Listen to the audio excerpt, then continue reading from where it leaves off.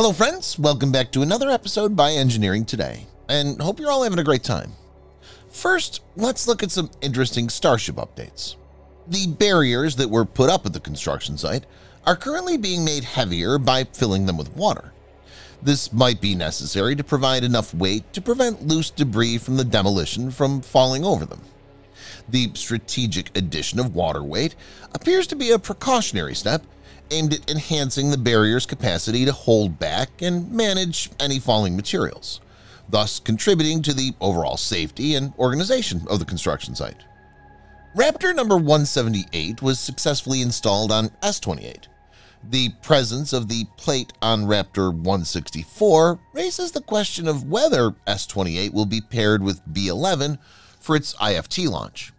However, it's more likely that the plate indicates compatibility with both S28 and subsequent versions, as well as B11 and its successors.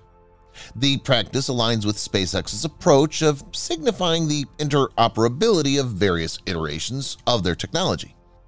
Booster 10 has been shifted from its Rocket Garden spot, and the remaining balancing weights are being placed onto the SPMTs.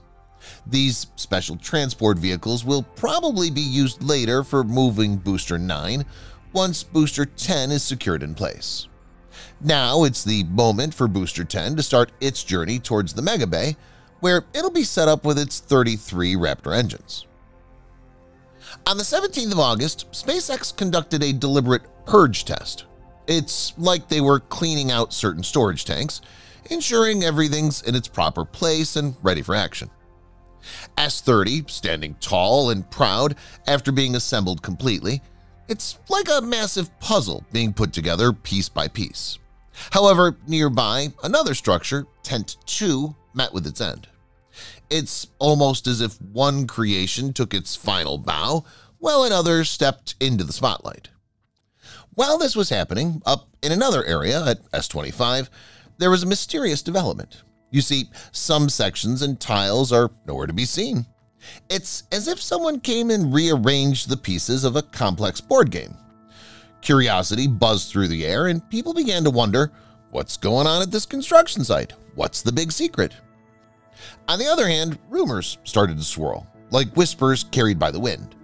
Some said it could be the arrival of a new structure, something potentially identified as mid-bay, tucked away just at the right edge of the visible area. Imagine standing there, peering through the lens of speculation and trying to make sense of what might be concealed in the periphery. You might ask yourself, could it be that the road closure was necessary to allow for the careful placement of this mysterious structure? Is SpaceX taking precautions to ensure that every piece finds its designated place, like a skilled hand placing the final touches on a masterpiece? The notion arises Mid-Bay seems destined to meet its end.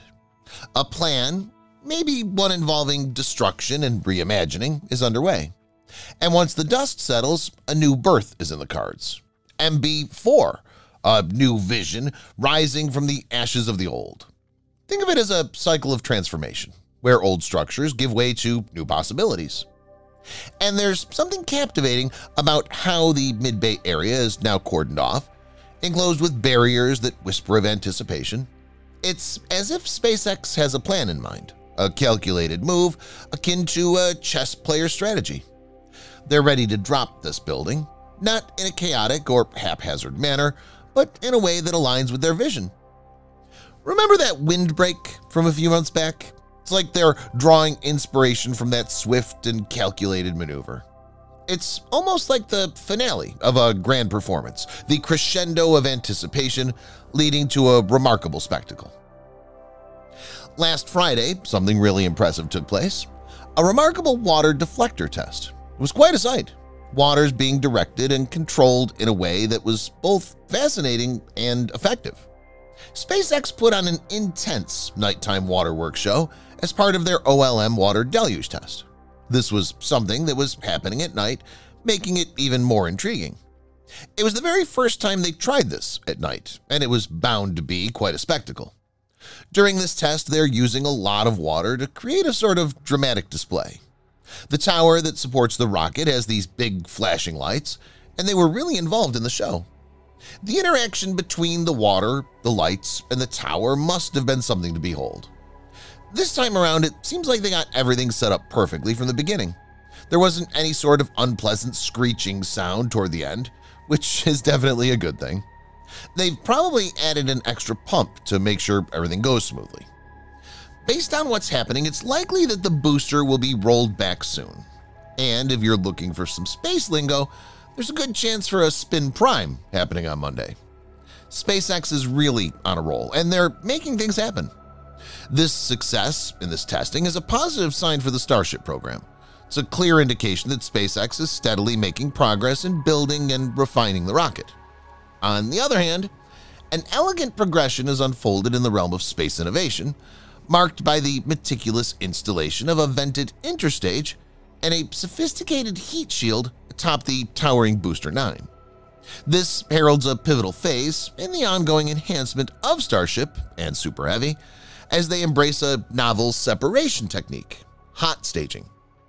Under this ingenious approach, the second stage engines of the Starship will elegantly ignite, propelling the vessel gracefully away from the booster, signifying a remarkable stride towards refined space travel methodology. On August 17th, a remarkable event unfolded at SpaceX's testing facilities that captivated the imagination. A Raptor engine, known for its potency, was not just idly fired up, it was mounted on a pivot and set at a daring angle of 15 degrees. It's not easy to fathom the sheer force coursing through the system, surging through a relatively diminutive gimbal mount at such an audacious slant. The visual spectacle was akin to a ballet of fire, a dance that enticed and mesmerized observers. One could hardly avert their gaze from the display of raw power and ingenuity. The Raptor engine is a pivotal creation in SpaceX's arsenal, one meticulously crafted for the ambitious Starship project. However, as with all groundbreaking innovations, challenges arose during its conception. The combustion chamber, a critical component, posed difficulties during testing, a puzzle demanding intricate solutions. Yet, undeterred, SpaceX forged ahead, refining, enhancing, and evolving the design. The birth of Raptor 3 signaled a turning point, a chapter where the promise of progress began to outweigh the setbacks. A successful test implies a pathway, a trajectory towards launching the Starship, towards realizing the dreams of a company that dares to reach for the stars. Thanks for watching. Please subscribe for more videos like this. Hit the like button if you find the video interesting and kindly provide your valuable feedback in the comment section. This will help us to improve.